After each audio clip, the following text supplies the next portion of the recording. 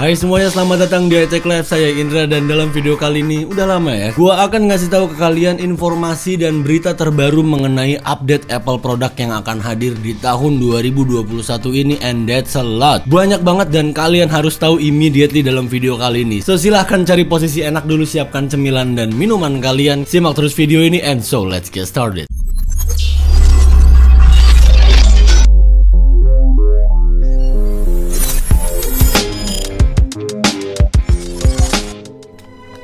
Oh. Apa itu? Seperti yang aku kenal suara itu. Ayam-ayam. Bagio, what are you doing here? Gue kira lu udah apa bahasa halusnya? Tewas? Hampir aja lu kemarin gue packing pengen gue jual ke online shop. Ada yang pengen nuker sama lu, sama bonsai cemara udang. Segini sih. Iya makanya. Eh enggak lu kenapa tiba-tiba muncul lagi? Oh,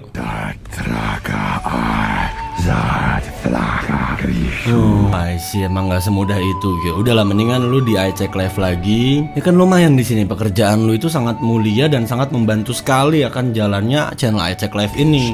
Eh silakan pegangin mic.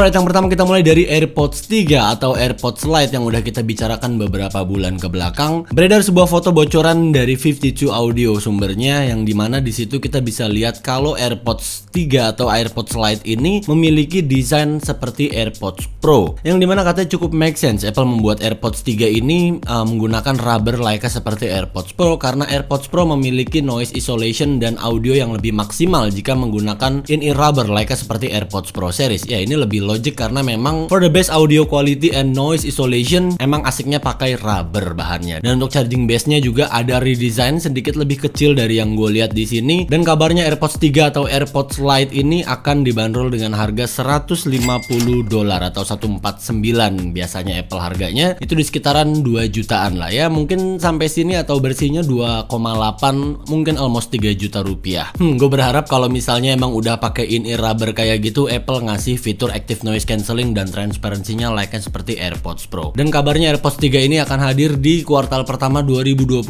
ini, mungkin di bulan Maret atau di bulan April. Masih spekulasi ya, at least this is a good news untuk kalian yang pengen punya AirPods Pro tahun kemarin tapi masih nahan-nahan nih karena harganya yang nggak masuk budget kalian. Next ada info dari Ming Chico seorang Apple analyst terkenal di dunia yang datar ini matahari kotak uh, soal MacBook Pro 2021 yang dikabarkan dia bilang Apple tengah mempersiapkan new redesign MacBook Pro mungkin pakai chipsetnya M2 ya next gennya dari M1 di tahun lalu di mana dia expect MacBook Pro line up 2021 ini punya diagonal ukuran layar 14 inch dan 16 inch seperti di tahun-tahun sebelumnya. Nah yang 14 inch nih yang paling ditunggu-tunggu pastinya sama teman-teman. Dan juga ada sedikit perubahan flat edge design layaknya seperti iPad Pro line up dan iPhone di tahun 2020 kemarin. Ya tapi kalau gue pikir MacBook Pro Retina itu memang udah flat ya udah kotak mungkin di bagian roundednya di bagian bagian tikungan. Tikungan. Di bagian lekukannya itu dia agak sedikit tegas gitu untuk bentuk flat edge-nya. Dan yang paling mengejutkan gue sampai gue terpental-pental adalah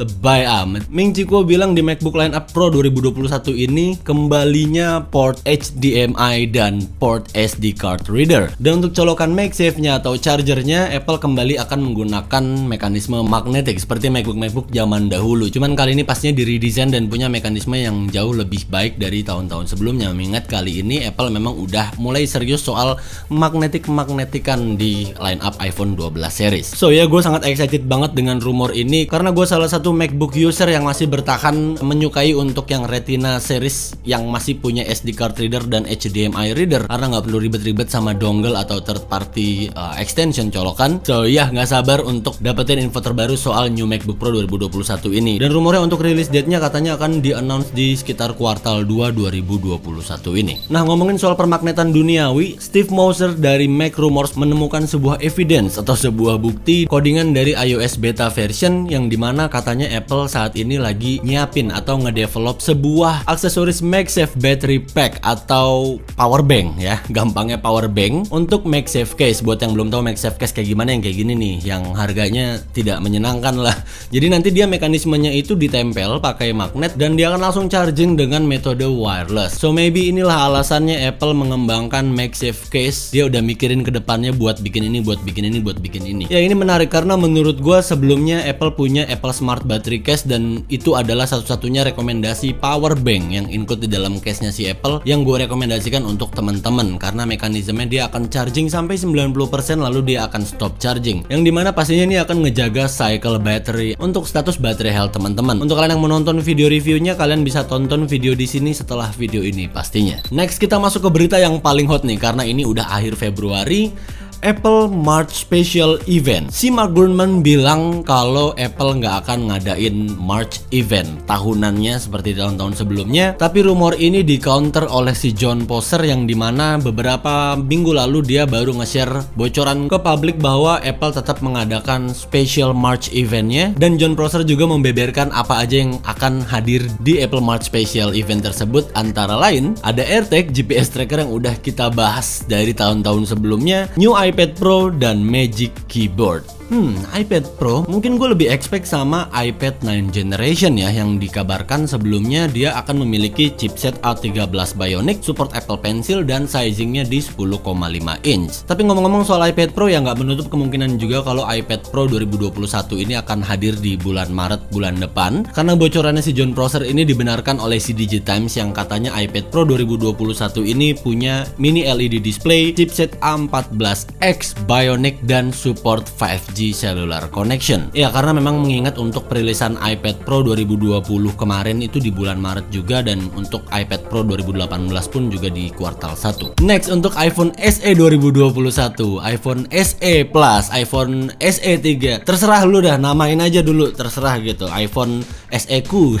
Ada sebuah analisis yang cukup menarik dari Notebook Check yang di mana Apple katanya tahun ini nggak akan menjual iPhone SE Plus atau SE 2021 atau ya terserah karena penjualan iPhone 12 mini 2020 di tahun lalu itu kurang memuaskan hanya 5% dari total penjualan lineup iPhone 12 series. Nah, dari analisisnya si Notebook Check ini bisa gue simpulkan menurut gue ada dua alasan. Yang pertama adalah karena iPhone SE 2020 yang bentuknya kayak iPhone 8 itu dirilis di tahun yang bersamaan dengan iPhone 12 mini series.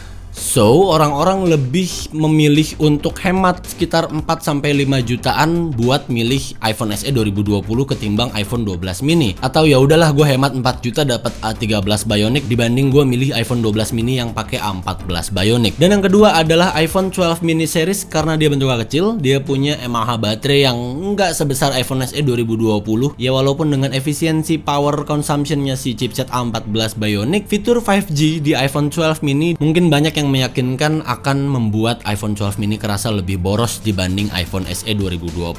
So, iPhone SE 2020 lebih worth it.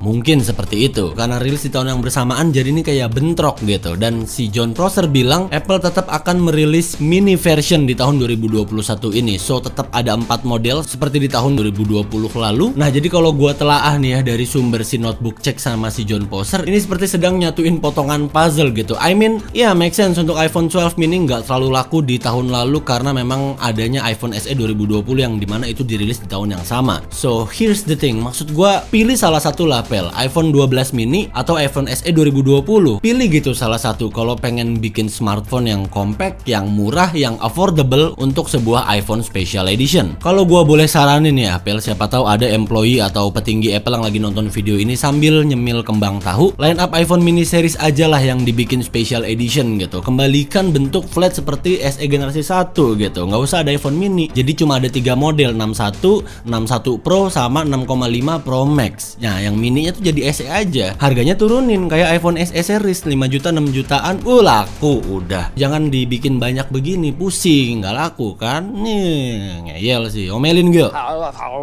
eh gue gue udah gue santai gue santai santai gue santai gue tapi dari teka-teki rumor dan spekulasi yang udah kita bahas sebelumnya si Gizmo China juga berpendapat kalau bukan berarti iPhone SE 3 atau iPhone SE Plus atau iPhone SE 2021 ini di cancel atau apa.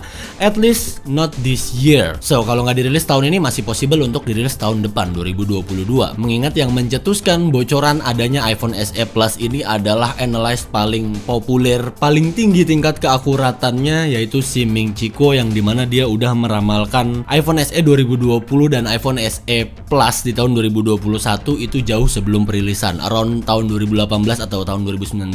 Gila emang nih orang si Ming Chico ini.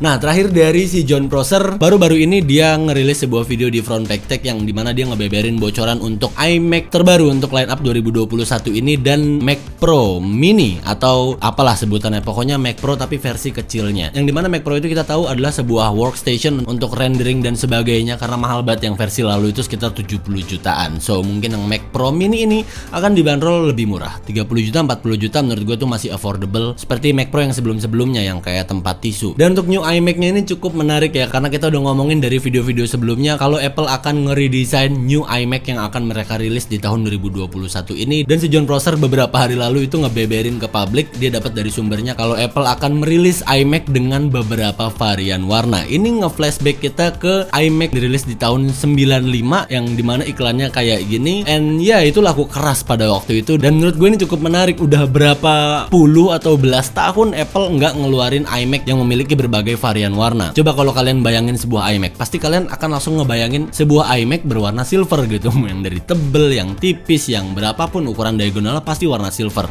So kalau misalnya emang ini bener, pastinya ini akan menarik sekali khususnya untuk teman-teman yang pakai iMac di rumah yang mau nostalgia menggunakan iMac di tahun 95. Kita lihat aja bagaimana perkembangan beritanya dan semoga aja dirilis sama Apple secepatnya. So ya yeah, that's all. Mungkin segitu aja untuk berita dalam video kali ini. Segitu aja Gio ya. Pegel nggak? Silahkan berdiskusi pada kolom komentar di bawah dengan teman-teman yang lainnya. Like juga video ini, share ke teman-teman kalian yang udah excited dengan produk-produk Apple terbaru di tahun 2021 ini. Gue pun nggak sabar untuk ngerangkum berita-berita update-nya dan semoga Apple Special March Event di bulan Maret bener-bener akan terrealisasi. So subscribe buat yang belum untuk menantikan update-update terbaru seputar Apple device untuk tips, trik, video, review dan sebagainya. And I'll catch you guys on the next video. Saya Indra dan welcome back Bagio and until next time.